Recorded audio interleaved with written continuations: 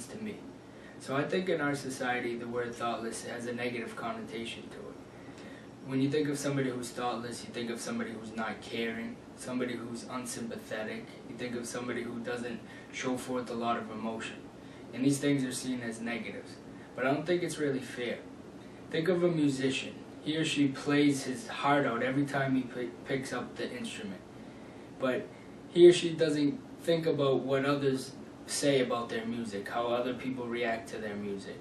This is thoughtless behavior, and obviously it's not wrong. If I just want to be a good person, if I just always want to do the right thing, but I don't think about what other people think of me or how they react to me, this is thoughtless behavior, and obviously it's it's exemplary behavior. So I think that it's a little misguided that we assign a negative connotation to thoughtless. But I think that the reason why we do this is because I, our society holds in very high esteem thought. There's two different types of thoughts. One is knowledge. One is the thought that results in us being able to build a, a tall building or draft up a constitution. This type of thought is called reasoning or intellect.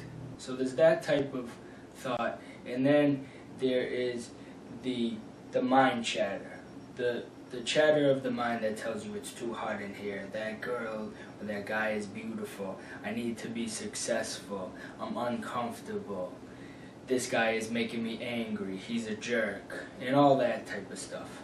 So there's two different forms of thought, but our society, I think, only really is conscious of the more positive type of thought, which is um, what leads to technology and innovations and, and that sort of stuff.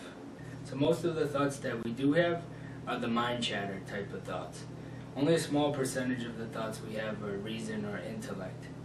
In mind chatter, the rambling on of your mind, the running on of your mind, it really just provides stress in your life. It doesn't really provide any type of benefits for you.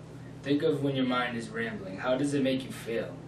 The Buddhist will say that the reason why humans suffer is because of the rambling on of the mind. So, how can we prevent this? How can we prevent our suffering? How can we prevent our minds from endlessly chattering on and providing us stress? Well, the way we can do that is through meditation. Now, I'm not going to get too much into what meditation is, but essentially, it is letting go of thoughts. It's being aware of and letting go of thoughts. And when you do that enough, what you find is that you become less attached to your thoughts and the voice in your head seems a little bit silly at times. It seems like it's not as influential, it's not as powerful, the, the voice isn't as loud. And through that, your life is going to have tremendous benefits and, and your experience of life is going to be just altogether better. So that's what the aim is in my website and my writing and such is to kind of suggest to people that they can be thoughtless and teach them how to be thoughtless and teach them that it's just very awesome. It's just great to be thoughtless. So I hope that when you're out living your life today, you stop and you catch yourself thinking too much. You catch your mind in the act of rambling on. And when you do catch yourself, as long as you don't add more thoughts to the mix, like if you don't say, "Oh, I'm thinking too much," if if you just wordlessly realize that you are, then what's going to happen is your mind is going to slow down. The thoughts are going to decrease. They're going to get softer. They're going to quiet. So just try to catch yourself today, and then the thoughts are going to turn back on, and then they're going to keep coming back.